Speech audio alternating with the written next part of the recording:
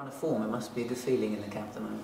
Yeah, no, it is. Obviously, boys are all confident down there, and it's another game that we're looking to go and win. Um, be a tough game, but we're confident in what sort of how we've been playing and what we can do, and we'll be definitely going up there to get the three points. I guess it's translating your good form at home into on the road, isn't it?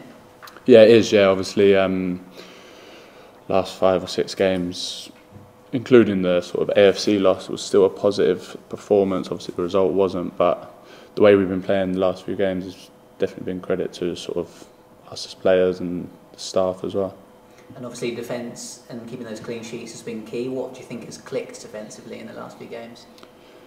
Um, I just think it's to do with sort of the game plan. I think uh, the gaffer and Rains have been talking all year about pressing high, and I think the last few games especially we've been doing that, and I think it makes sort of the defence's job a lot easier with winning the ball up a lot higher and stuff like that, and it just sort of puts our foot down in the game, I suppose, and I think just opponents are starting to fear us, and I think that's the way it needs to be. You know, on Saturday, you obviously had the same back four as you've had, but having Tom O'Connor in midfield as well, there were times where he was tracking back yeah. the wing back and you're almost slotting into a back five. It, all of you are quite adaptable in there, aren't you?